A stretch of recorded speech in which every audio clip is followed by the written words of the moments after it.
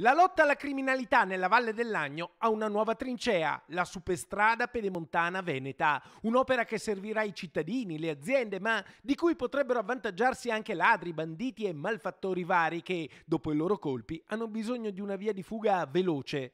Insomma, con l'apertura del nuovo casello Valle Agno serve una strategia per la sicurezza in prospettiva, perché nel 2021, dopo le stagioni delle clausure e dei lockdown in cui c'è stato un calo fisiologico dei reati, siamo tornati ai livelli pre-Covid. Dunque, bisogna tornare ad alzare la guardia, a cominciare dalla vigilanza elettronica continua con una rete di telecamere targa system per cui tutte le auto che entrano ed escono dalla Valle dell'Agno vengono rilevate e monitorate. Vi sarà la Polizia di Stato con la Polizia Stradale che garantirà il pattugliamento sul tratto 24 ore su 24 e tutto il lavoro comunque sarà coordinato insieme con l'arma dei carabinieri e anche la stessa Guardia di Finanza. Stretta sui controlli con pattugliamenti 24 ore su 24 sulla superstrada pedemontana. Per questo serve un'iniezione di organico nelle fila delle forze dell'ordine.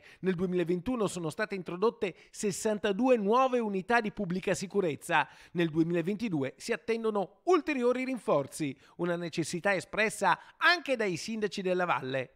La necessità di qualche innesto ulteriore nelle nostre stazioni dei carabinieri e della, e della polizia. Si lavorerà pure a uno scambio di informazioni tra comuni e forze dell'ordine più fluido e continuo in un patto per la sicurezza tra i sindaci di Brogliano, Castelgomberto, Cornedo Vicentino, Recoaro Terme, Trissino e Valdagno. Con eh, l'avvento e l'apertura del casello della Pedemontana non bisogna abbassare la guardia, bisogna continuare a tenere il territorio monitorato e ben venga l'intervento nuovo intervento che ci sarà della Polstrada eh, proprio con l'apertura del casello che pattuglierà tutto il tratto della nuova superstrada pedemontana veneta, eh, l'implementazione dei targa system, ma soprattutto quello che auspichiamo come sindaci è la eh, condivisione dei flussi di informazioni tra i target system e la questura e tutte le forze dell'ordine. Di certo ci saranno degli aggiornamenti e delle riunioni periodiche proprio per verificare lo stesso stato dell'arte.